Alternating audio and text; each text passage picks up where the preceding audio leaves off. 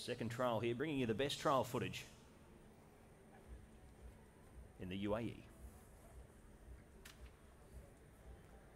Set to run as the cameraman is escorted away from the the gates.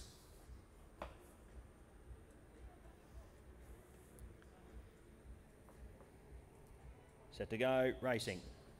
Oh, they dawdled at the start there. It was a dog's breakfast as they come out of the gates. It was HK Asil who went wide there.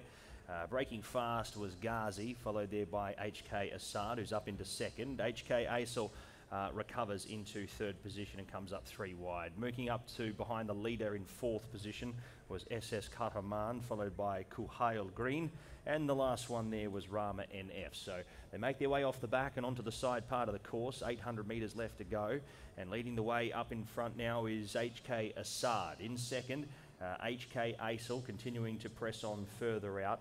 Then came uh, SS Kahraman, who was initially going to stick to the inside, but now peels out to uh, begin a run here late in the trial with Kuhail Green. Back out to second to last was Ghazi, and dropping away and heading out to the outside fence was Rama NF. So they come into the straight here, 300 metres left to go, and up on the outside, Kuhail Green picks them up pretty quickly. Second is HK Asil closing off well despite the poor start earlier on.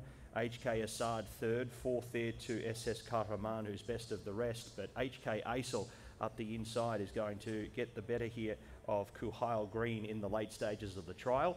The margin there, around three quarters of a length.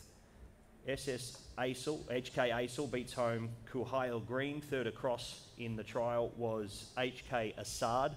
Fourth to SS Kahraman, followed by Rama NF. And the last one home was Ghazi.